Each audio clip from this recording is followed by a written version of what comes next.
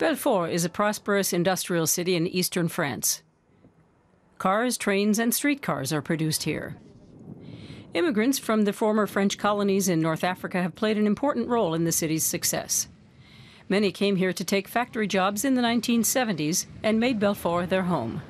They comprise some 10% of the city's population. But now they find themselves feeling unwelcome in their own community, following comments made by Mayor Damien Meslot. He said that Belfort is considering taking in refugees from Iraq and Syria, but for now, only Christians. I don't want to take them in because they're Christians, but because they're persecuted. I'm surprised at the criticism from the left wing parties and certain media organizations. You get the impression that because they're Christians, we have no right to take them in. Protests decrying Islamophobia are unwelcome. Meslot is quick to dismiss them by publicly attacking his opponents. The Muslim Brotherhood are known for their provocations. Ms. Meslot's remarks have provoked outrage well beyond Belfort's borders and been denounced by France's interior minister. The mayor isn't giving interviews at present, but for Belfort's Muslim population in particular, his message has come through loud and clear. I'm Algerian and have been here 37 years. If I could return to Algeria and work, I'd have left long ago rather than deal with the racism here. It's got to stop. Samia Jaber is one of the mayor's biggest opponents. Born to an Algerian family, she's fought her way to the top in Belfort and had a seat on the city council for years. The socialist hopes to combat the prevailing anti Islamic sentiment, which she believes is politically motivated. Our mayor Damien Meslot is wooing Front National supporters, but that's a losing battle in which you lose your values and your soul. Meslot and his Republicans are trying to attract supporters of far right parties like the Front National, which won a record 24% of the vote here in local elections this year. Meslot is looking to do better in upcoming regional elections, and his gamble could pay off. With non-Christian refugees, we can't be sure they don't belong to IS. I'm with Mr. Meslot, that's all. The mayor also has the support of the Catholic Church. Together, the city and the diocese have set up an organization to welcome Christian refugees.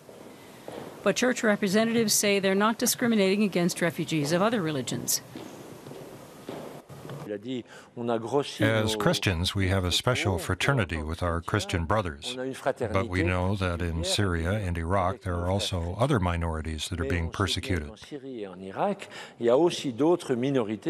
That includes the Yazidis, the Kurds, and other Muslim minorities. We'll welcome anyone sent to us. In the coming months, France expects to take in some 24,000 such refugees. That's a relatively small number compared with the amount being taken in by other European countries. Still, racist sentiment is growing in France.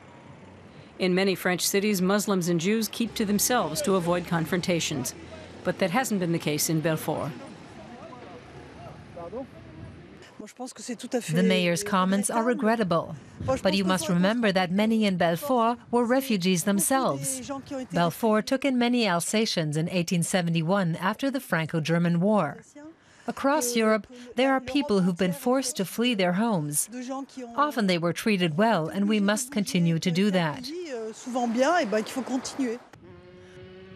But the growing intolerance towards the Muslim population is increasing tensions and sparking racist incidents. Bus drivers here mobbed a Muslim colleague who showed up at their soccer club wearing a jacket with Arabic writing on it. Samia Jaber blames Damien Meslot for such incidents. By demonizing minorities, she says, he's failed as a mayor. I'd like to return to the way things were in our city, when comments were measured and balanced. Now people take positions that are divisive and create tensions. We've never had tensions here. I'd like to revert to our peaceful tradition. Mayor Meslot has driven a wedge between Christians and Muslims here, so it's ironic that around half of Belfort's Muslim voters helped him get elected. It seems unlikely he'll receive their vote next time around.